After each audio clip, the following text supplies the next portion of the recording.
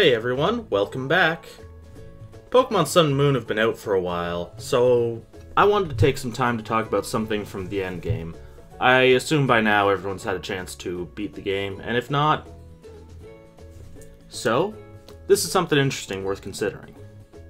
The endgame topic I wanted to talk about today is the Ultra Beasts, the alien life forms that were dropped in Alola by the mysterious Ultra Wormhole, leading to Ultra Space. And if you think the word Ultra is going to get tiring by the end of this video, you're right. These things were my favorite concept. These things were my favorite concept going into the game. Even though they can't really be caught until after you've beaten the main campaign, I still think the concept of them was decently utilized, even though I would have liked to see a bit more involvement. And I know I'm not alone in that. Now, no one really has any direct information about them other than the developers, and they don't really seem to be following up on them, for one reason or another. Everything I'm about to blather on about is basically just hypothesis and conjecture based on the little bits of information the game gives us, plus my own understanding of the nature of the universe, which is admittedly just above casual. It's also a great opportunity to talk about a, another subject that is very relevant these days that of exoplanets. Planets that we have found orbiting other stars than our own.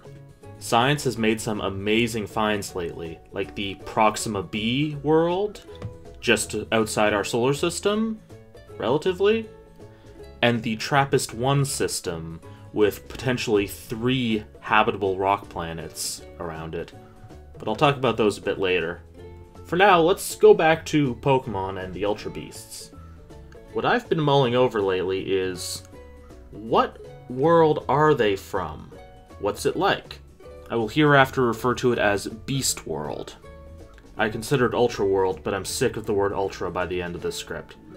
With that out of the way, before we bounce around theories, let's see what we really know about these creatures so far.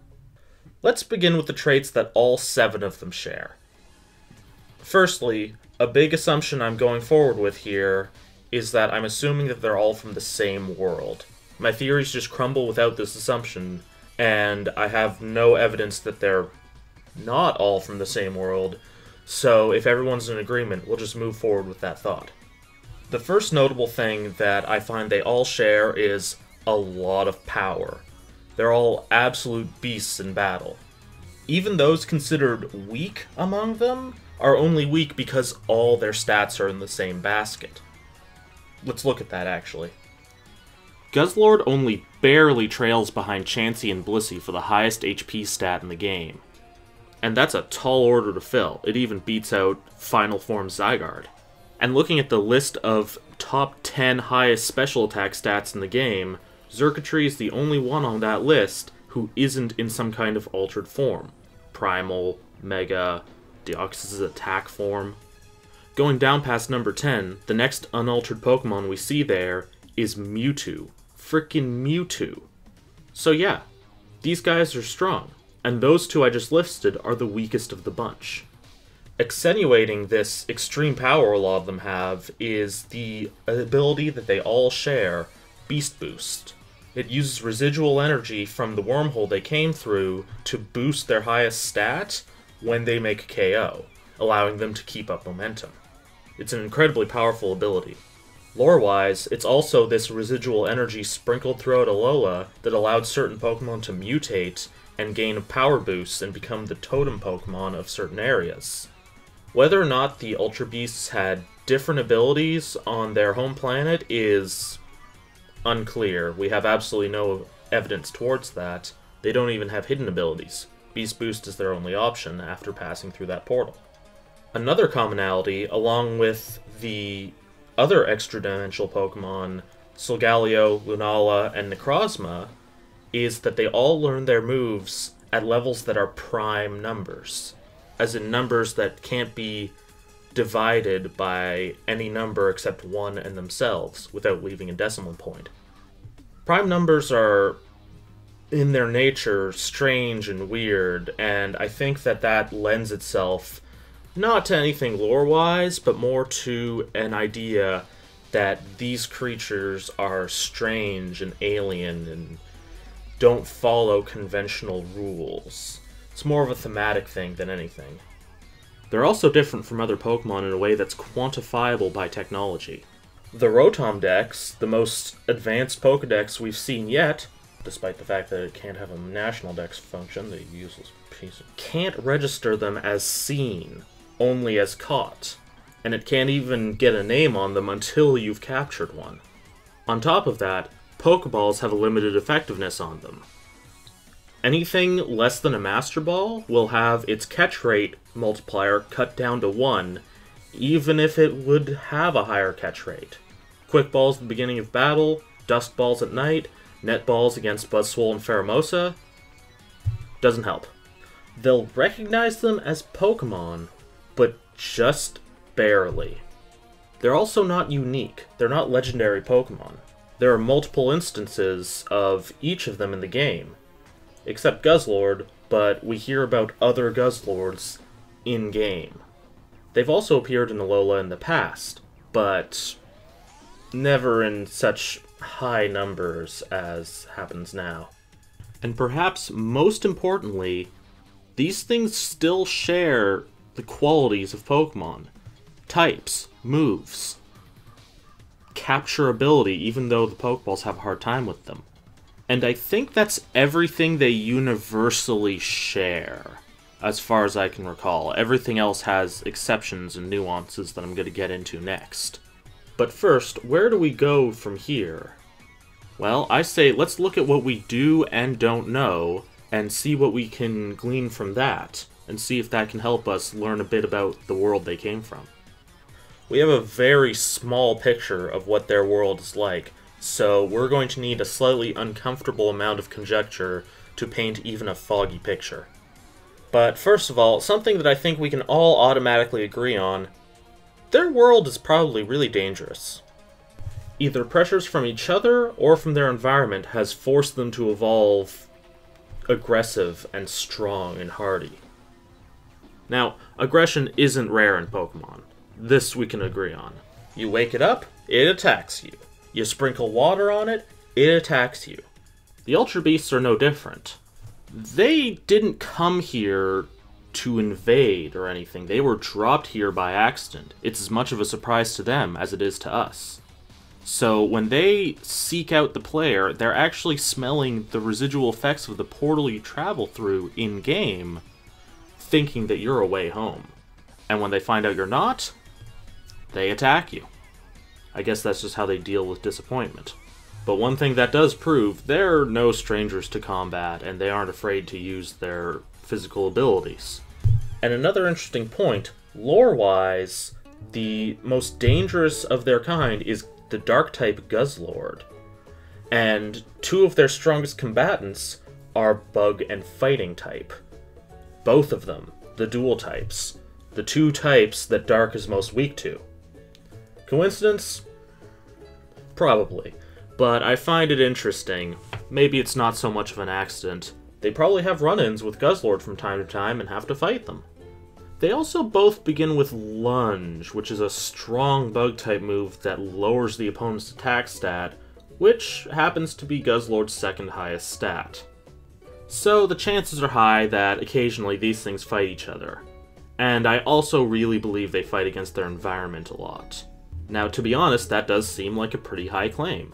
What environment is there to fight against? We've seen almost none of it. So what do we know about what we have seen? Well, in this little cave, which is the only part of Beast World we get to see and traverse in the game, what do we have? Weird rock formations, uh, some kind of light source near the back, quite bright actually, glittering or phosphorescent stones, the only thing we see living there are several instances of the frail parasitic jellyfish Ultra Beast Nihilego. But technically there was something else living there. People. Guzma and Lusamine were there for a while, and survived their trip there. Not in bad shape. Well, Lusamine was in bad shape, but that was for a completely different reason. They might have been there for days if you're like me and felt that the Pokedex was looking a little dry by the time you got to Poni Island. Yo, Lillie, I know you're worried about your mom, but I have way more seen than caught, and I gotta fix that. Have you seen those Exeggutors? They're rad. Now, while you're in Beast World, Lillie mentions that the air is thick and hard to breathe, but it's not unbreathable. Now, a couple things come to my mind as possibilities for thick air. It could be slightly more dense due to higher gravity, but no one really complains much about uh, them feeling heavier while they're there. So maybe heavier elements are acting as filler in place of our lighter elements in our air. Most of this is nitrogen, about 60 to 70% of it. Perhaps they have slightly less nitrogen or something in their air and have, oh, I don't know, carbon. That's my thought. You'll see why. And the Ultra Beasts aren't crazy about our side either. According to Wicke, half the purpose of the Beast Balls is to help them survive more comfortably in our atmosphere. So yeah, the air is similar enough for both parties to breathe the other world's air, but it's not comfortable. Given the diversity of planets out there, it's a pretty big lottery that the atmospheres are that similar. And if the gravity isn't any higher, it must mean that the world's about the same size as ours. If it's any bigger or smaller, it's not by enough to make it a noticeable difference immediately. Now, in what will seem like a complete leap of logic, I'm going to take a stab at what the surface of the planet looks like, just based on a couple of factors that I thought about as I was playing. And this might also shed some light on the potential behaviors of the Ultra Beasts themselves. Now, as I was formulating this theory, two things stuck out to me right off the bat. First of all, the eyes and skin of the Ultra Beasts. Something about that bugged me, and I think I know why now. Secondly, Lillie's clothes. Now, okay, I know you're thinking that's not much to go off, and it isn't, but this was just what got the ball rolling for me, and I'll explain why. But ultimately, I think that these factors can lead us to believe that the Beast World is actually incredibly bright, vibrant, and hot during the day, possibly a kind of rocky desert. To repeat a former point, I said that I felt like there was higher levels of carbon in the atmosphere, a heavier element that would make the air a bit harder to breathe. For us, at least. Carbon, specifically carbon dioxide, when carbon meshes with the oxygen in our atmosphere, is a greenhouse gas, which can warm the surface of a planet. See Venus and global warming. So I think that my theory on carbon being more prevalent in their atmosphere could lead to a higher surface temperature. Now, let's look at Lillie's clothing at the time. I couldn't find any official art of her in the outfit she was in there, so I had to make my own. Sorry. Anyway, she's clearly not dressed for the cold. Neither is the player character. I mean, you can't really get winter clothes in Alola. Now, let's be honest, your character in game has all the expression and personality of a piece of burnt toast. But the ever expressive Lillie doesn't complain about the cold at all. And from experience, caves tend to be pretty cold ultimately, unless you're really deep down. And the sunlight trickling down in Lusamine's chamber, I don't think they're that far from the surface. Now, in all fairness, Lillie not complaining about the cold is a very, very weak argument on its own. People in Japanese media, particularly women, are not known for wearing excessive amounts of clothing. And they're also not known for complaining about the cold, because then the male dominated creative teams would have to justify covering them up, and, you know, they don't want to do that. But, the very next area you go to in game after completing the part in Beast World is Mount Lanakila. Lanakila, am I saying that right? Mount Lanakila itself is the coldest area in the game colder than a Bergmite whose birthday you forgot. Every character who appears there, their breath starts to vaporize and become visible, and you even get to sass Kukui about his exposed chest on top of the mountain, ask him if he's cold. But Kukui's chest aside, I'd hazard a guess that if they were willing to put in that much detail into recognizing the fact that it's cold as heck up there, then if the Beast World was that cold, they probably would have had similar signs or similar dialogue. At least the breath thing. That seems very easy for them to add. And the sun trickling down in the room that Lusamine's chilling in is probably responsible for that warmth in the cave. And if the cave is warm, how's the surface feel? So, how might our precious beasts have evolved to adapt to that heat on the surface? That theoretical heat I'm proposing? Well, for one, something I noticed very early on glossy bodies. Celesteela, Kartana, Buzzwole, and Xurkitree all have smooth, almost glossy bodies, and not a single one of the Ultra Beasts have fur. This is very likely an adaptation to reflect excess heat off their skin to keep their body temperature lower than it would otherwise be. It's like how in deserts people use shiny tarps to make shade because less heat is going to go through a shiny surface.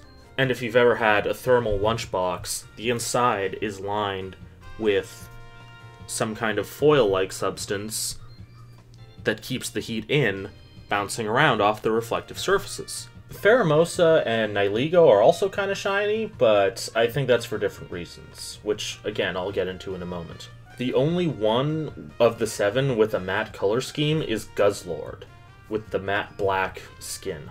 Another trait six of the seven share is minimal eyes. Nihilego and Xurkitree are just completely without them. And honestly, I don't see any on Celesteela. I mean, they might be there, but if they are, they're tiny.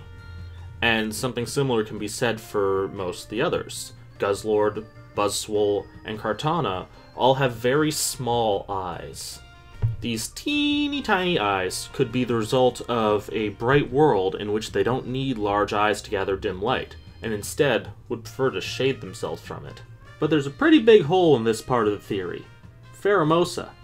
She has huge eyes, even by anime standards. What's up with that? I would attribute that to her behavior. Here's an idea. Pheromosa might be a cave dweller or at least nocturnal. Given her penchant for speed and acceleration, which anyone who plays the game competitively has probably experienced by now, she's unlikely a cave dweller. Unless she has reflexes that put Spider Man completely to shame and can zip through caverns and dodge obstacles with lightning fast reflexes, which is possible and also sounds pretty cool visually. But it's more likely she simply hides in caves during the day and then explores the surface of the world at night to travel and hunt. Even in game, you find Pheromosa in the cave, and this bit's a stretch, but she's exclusive to Pokemon Moon, in which it's more about the nighttime, and when the Ultra Beasts descend to fight the Guardians, Pheromosa's the one who shows up at night. Again, it's a stretch, but the connection is there. Whether or not it's valuable, I'll leave up to interpretation. Now, Nihilego itself, we know is a cave dweller. Its soft, goopy body probably doesn't really like exposure to the sun that much any more than our world's jellyfish do, and we have actually seen its habitat. It's the only one we've seen in its natural habitat, which was that one cave. And when it does come to our world, the two places you can catch it are A, a cave, and B, a hot, dark volcano with clouds obscuring the sun. As for the last Ultra Beast, I think, that prefers the darkness, Guzzlord. It looks like a cave dweller. It's found in caves. And since it's endlessly eating raw material around it, it probably carves its own caves. Its black, matte texture body would probably also absorb a lot of heat if it went out into the sun, so it's probably pretty eager to avoid that. In my head, though I have no proof, I see extensive cave systems throughout Beast World, maybe because that's the only part of Beast World we ever saw. I wouldn't be surprised if those were carved by Guzzlords eating their way through the crust of the planet. So, hot and sunny, possibly extensive caves. What else might Beast World have that seems likely? Probably most of what we have, just in different quantities. Due to the heat, liquid water just sitting around on the surface is probably pretty rare, so I imagine it's quite dry. Again, harkening back to the desert idea I had before. Not a sandy desert, but more like a badlands. This is also supported by the fact that other than Xurkitree being able to learn Rain Dance, not a single one of the Ultra Beasts can learn another water type move. Water is probably incredibly valuable, and they probably have their all their own ways of finding it and keeping it, much like desert life does in our world. Nihilego retains it by staying underground, Buzzwole stores it in its rippling masses. Celesteela and Xurkitree can root themselves into the ground to absorb water and nutrients. Guzzlord might get it from burrowing, finding underground water deposits, or just getting it straight from the rocks it eats. One only really needs to look at modern desert life to see the different ways and incredibly diverse ways that life can find and store water when it's scarce. Also, because of Xurkitree and Celesteela's tendency to root themselves in the ground, and Kartana's grass typing, I imagine there's plants there too. Sturdy desert life plants that are good at keeping and retaining water. The plants would probably thrive off the sunlight, and if they're anything like our world's plants, probably the carbon in the atmosphere as well. Basically, on this mostly desert world, the life has evolved to adapt and survive and become very hardy and adaptable for its not cruel but difficult environment. Unfortunately, though, now we come to a wall. Anything further than this is just baseless conjecture. I think that I've gone over almost every single piece of information we have on the Ultra Beasts, and if that didn't seem like much, it's not. we have been given very little on this front. But even with what little we have, we've painted a picture of a world. An Earth sized planet with an active yellow star, slightly higher carbon levels in its atmosphere, very dry, but with water in certain places where life has evolved to find it. They've evolved to endure or avoid the sun, either by burrowing or becoming nocturnal. Pheromosa is likely nocturnal. Celesteela, Kartana, and Buzzwole are probably diurnal. Nihilego and Guzzlord stay underground. I could probably go on about their potential behaviors and how their ability to sense ultra wormholes is sort of a mystery with its own implications. But this video's already long enough and it's got too much in it. I'm not even done yet. So really something like that that just raises further questions, I'm not going to touch this time. But still, how can they just sniff it out naturally when we need special instruments? Are they just so used to these wormholes appearing and picking them off one by one? How unstable is the space around Beast World? Questions for later.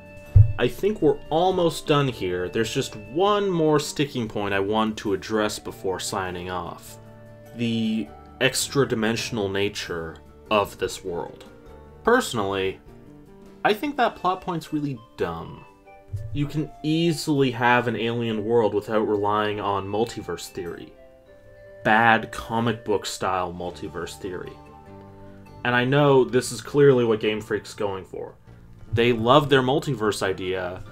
They started up in X and Y, and they've been running with it ever since. Does anyone remember episode Delta from Omega Ruby and Alpha Sapphire? That basically just said multiverse, multiverse, multiverse, multiverse, multiverse. Extra dimensions.